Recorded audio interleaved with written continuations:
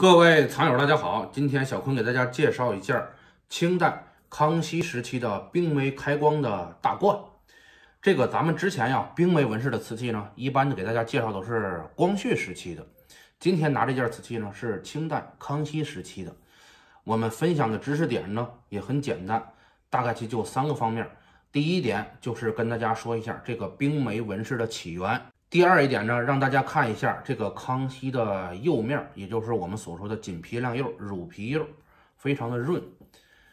第三一点呢，我们给大家看一下它的露胎处、口部还有底部，这是糯米胎，康熙时期的糯米胎，让大家呢近距离的感受一下。第一点，我们跟大家说的就是冰梅纹饰的起源，起源于呢康熙时期，在康熙以后的各个朝代呢均有烧制。在数量上呢，光绪时期达到了顶峰，也就是我们所谓的小康。光绪的瓷器叫小康。这个光绪的瓷器啊，从这个胎质上、跟釉面上，还有发色上，跟康熙是有本质区别的。第二，我们看一下这个康熙瓷器的釉面，大家看啊，这个冰梅纹饰，这个中间呢是博古图开光，这个釉面呢看上去非常亮，非常的沉稳。这就是我们康熙所说的锦皮亮釉，锦皮亮釉。第三一点呢，我们看一下它的口部和有底部的露胎处，这叫糯米胎，康熙时期的糯米胎。这是它的底部，非常的坚硬瓷实。大家呢先这样粗略的看一下，最后呢，我们把镜头啊会给大家转过来，大家再详细的看一下。这是它的釉面和底部口部。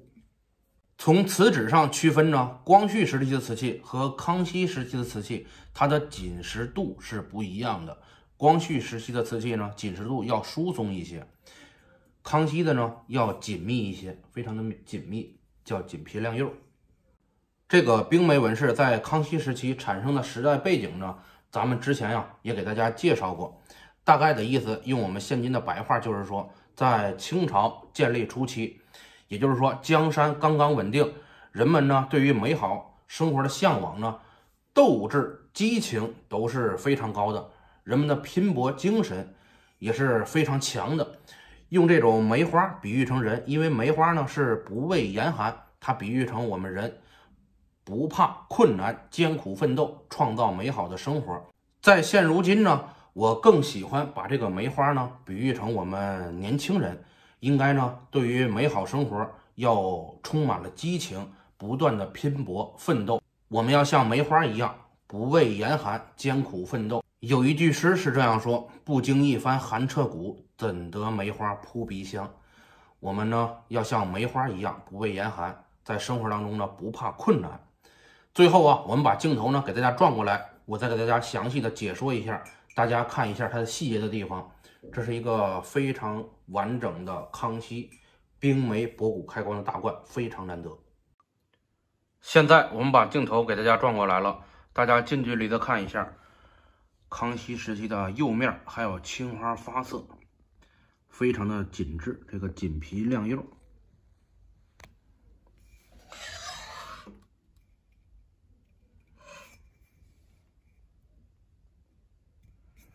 非常的漂亮，这是博古纹饰开光，很好区分啊！大家注意看一下，这是传统开门大佬。然后我们看一下它的口部，这个口部呢是糯米胎，非常的坚硬瓷实。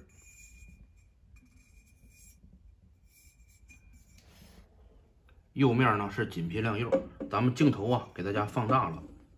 我们再看一下它的底部，这是它的乳皮釉的感觉，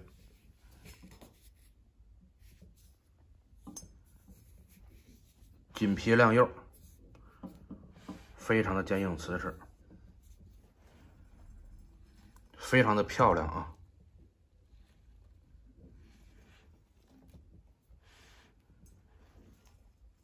知识呢很简单，大家自己总结总结就行，多看一看咱们之前的视频。今天这期视频呢，就给大家介绍到这里。